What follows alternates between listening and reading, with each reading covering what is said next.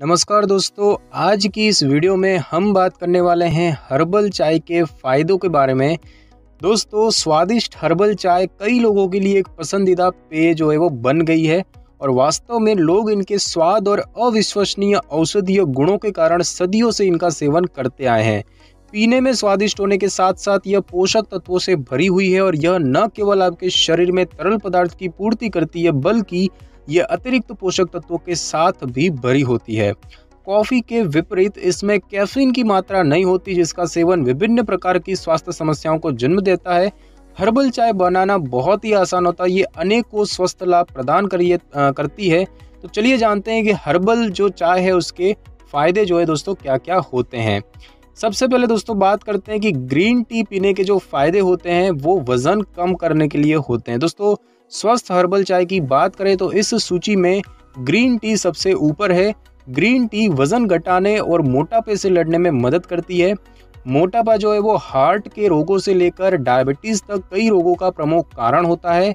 Green tea जो होती है वो एपीगेलोकैटेचिन गैलेट, उस यानी कि ई जी सी जी नामक एक कैटेचिन से समृद्ध है जो कि कैलोरी को जलाने और वज़न को कम करने के लिए मेटाबॉलिज्म को बनाता है। इंटरनेशनल जर्नल ऑफ़ ओबेसिटी में प्रकाशित 2009 के एक स्टडी में हरी चाय में वज़न घटाने और वज़न नियंत्रित करने के सकारात्मक प्रभाव देखे गए हैं। हरी चाय में एंटीऑक्सीडेंट्स के गुण होते हैं जो कि उम्र से संबंधित बीमारियों से शरीर की रक्षा करने के लिए टिश्यू कोशिकाओं को मज़बूत करते हैं और यह प्रदूषकों की वजह से सेल के नुकसान को रोकते हैं। हरी चाय कैंसर से लड़ने में भी मदद करती है और यह हार्ट के रोग को रोकने और डायबिटीज़ के खतरे को कम कर सकती है। साथ ही साथ कम करती है और इसके सेवन से प्रतिरक्षा प्रणाली भी मज़बूत बनती है। दोस्तों, बात करें कि ग्रीन टी बनाने की क्या विधि होती है? तो एक कप में एक से दो चम्मच अच्छी गुणवत्ता वाली हरी चाय की पत्तियों को डालें और अब कप में गर्म पानी डालें और अब इसे ढक कर दो से तीन मिनट के लिए छोड़ दें और अब इसे छान लें, फिर इसमें थोड़ा शहद मिला लें और इसे पिए। आप रोज़ाना तीन से चार कप हरी चाय पी सकते हैं। दोस्तों, बात करें अदरक की चाय की तो दोस्तों, अदरक की चाय के जो फ़ायदे होते हैं, वो गठिया यानी कि आर्थराइटिस में होते हैं। दोस्तों, अदरक किसी भी प्रकार की सूजन को कम करने में मदद करता है। गठिया से पीड़ित लोग अगर अदरक की चाय का सेवन करते हैं तो इसके सेवन से गठिया के दर्द और सूजन को कम करने में मदद मिलती है। इसके अलावा यह दर्द से भी लड़ने में मदद करता है। जर्नल ऑफ़ मेडिसिनल फ़ूड में 2005 में प्रकाशित एक स्टडी में पाया गया कि अदरक जो है वो कोशिकाओं के सूजन को कम करता है और इसीलिए यह गठिया और अन्य प्रकार के सूजन के लिए प्रभावी उपचार होता है। अदरक की चाय पीने से खराब पेट ठीक होता है और इसके अलावा तनाव कम करने, सर्दी से लड़ने, मासिक धर्म की ऐठन को कम करने, प्रतिरक्षा को बढ़ावा देने और रक्त शर्करा के स्तर को सामान्य करने और भूख को नियमित करने में भी मदद मिलती है। तो दोस्तों, अदरक की चाय बनाने की क्या विधि होती है? एक बर्तन में एक बड़ा चम्मच अदरक का टुकड़ा और दो कप पानी डाल लें और अब पानी को 10 मिनट के लिए उबाल लें और अब इसे किसी साफ़ कप में छान लें। और अब आप इसमें थोड़ा शहद और कुछ बूंद नींबू रस डालकर अच्छी तरह से मिला लें और इसका सेवन आप करें। रोज़ाना दो या तीन कप अदरक की चाय का सेवन आप कर सकते हैं। और अब दोस्तों, बात करते हैं कैमोमाइल चाय की। दोस्तों केमोमाइल की चाय के जो लाभ होते हैं, वो अनिद्रा में बहुत होते हैं, यानी कि इंसोमनिया में। दोस्तों केमोमाइल चाय होती है, वो अनिद्रा और नींद संबंधित अन्य विकारों से लड़ने के लिए सर्वश्रेष्ठ हर्बल चाय में से एक है। कैमोमाइल को व्यापक रूप से नींद को बढ़ाने के रूप में जाना जाता है और इसका यह प्रभाव इसमें उपस्थित फ्लेवोनोइड एपीजेनिन के कारण होता है, जो कि दिमाग में बेंजोडायाजेपिन रिसेप्टर से बांधता है। नियमित रूप से कैमोमाइल चाय को पीने से सिर दर्द से राहत मिलती है और इसके अलावा मांसपेशियों का दर्द कम होता है, तनाव नियंत्रित होता है, मासिक धर्म के ऐठन से राहत मिलती है, पेट की समस्याओं का इलाज होता है और वज़न कम करने में मदद मिलती है और प्रतिरक्षा बढ़ती है। चाय बनाने के लिए ताजी और सूखे कैमोमाइल फूलों का उपयोग किया जाता है। दोस्तों, इसकी विधि की बात करें तो एक कप गर्म पानी में एक चम्मच सूखे कैमोमाइल या फिर दो चम्मच ताज़ा कैमोमाइल फूल डालें और अब इसे पाँच मिनट के लिए ढककर छोड़ दें और फिर इसे छान लें। और अब इसमें थोड़ा शहद मिलाकर इसे गर्म जो इसका गर्म करते ही इसे पी लीजिए। दोस्तों, यहाँ पर आपको ध्यान देने योग्य ये बात है कि यदि आप गर्भवती हैं या गर्भवती होने की कोशिश कर रही हैं तो इस जड़ी बूटी के सेवन से आपको बचना चाहिए। अब दोस्तों, हम बात करेंगे पुदीने की चाय की। तो दोस्तों, पुदीने की चाय जो है, वो अपच जो है, उसके लिए बहुत अच्छी होती है, यानी कि इनडाइजेशन के लिए, उसको स्वस्थ करने के लिए। दोस्तों, पुदीने की चाय अपच और अन्य गेस्ट्रो समस्याओं से पीड़ित होने पर और पाचन तंत्र में सुधार करने में मदद करती है। यह पेट की मांसपेशियों और आंतों को शांत करती है और इरिटेबल बाउल सिंड्रोम के लक्षण जैसे कि पेट की ऐठन और सूजन को दूर करने में भी मदद करती है। इसके अलावा यह आसानी से भोजन को पचाने में मदद करती है और मटली की समस्या से छुटकारा दिलाती है।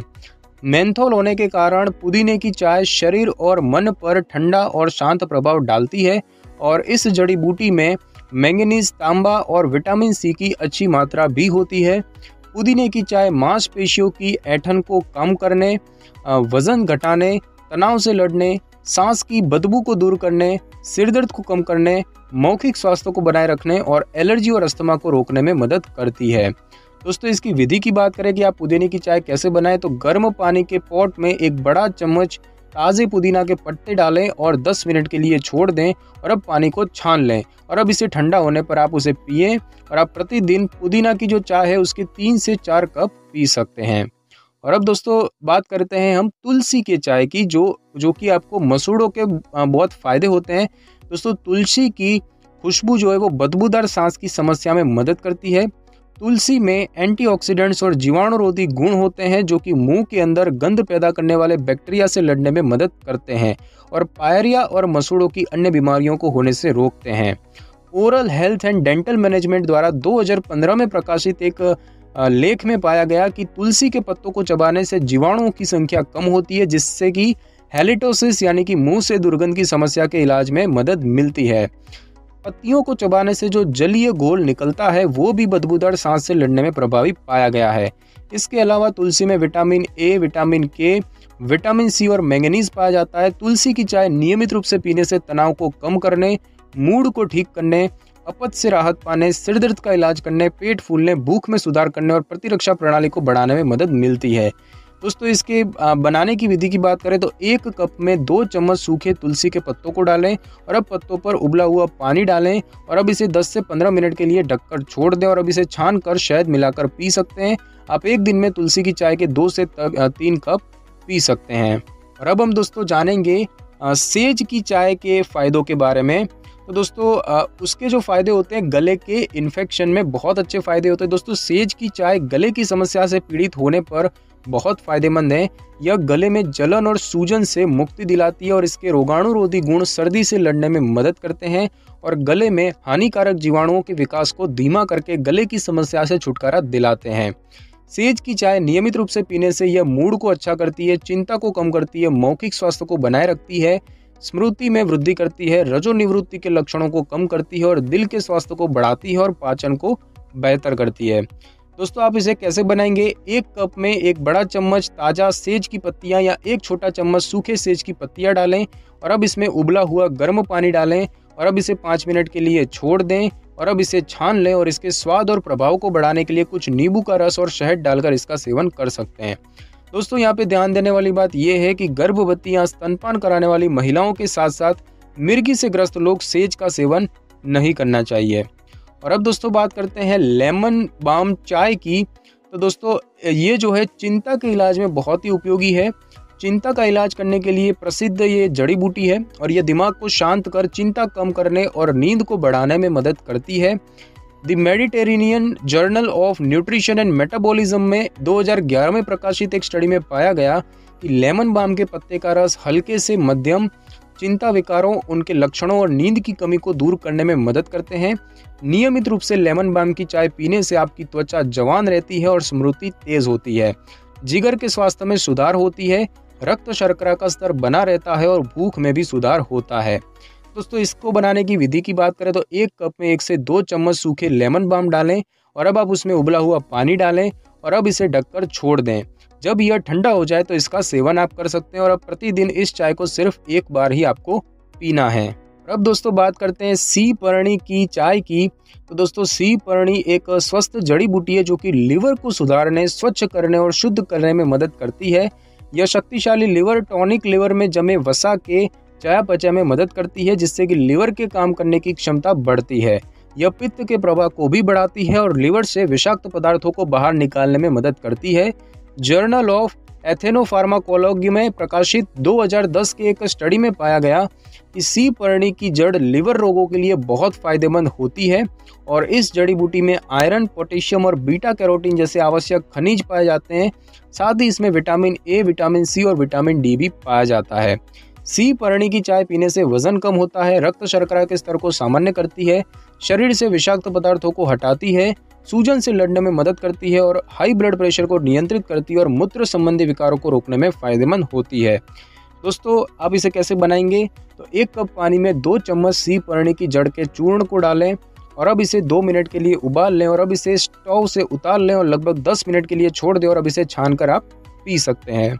और दोस्तों, बात करें गुड़हल की चाय की तो दोस्तों, गुड़हल की चाय ब्लड प्रेशर को नियंत्रित करने के लिए बहुत ही फ़ायदेमंद है।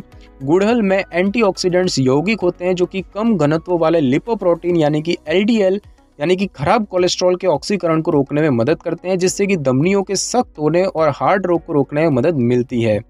द जर्नल ऑफ़ न्यूट्रिशन में प्रकाशित एक 2010 के स्टडी में बताया गया है कि गुड़ल की चाय की दैनिक खपत से जिन लोगों में हाई ब्लड प्रेशर होने की संभावना है जिनमें यह समस्या शुरुआती चरण में उनका ब्लड प्रेशर कम होता है।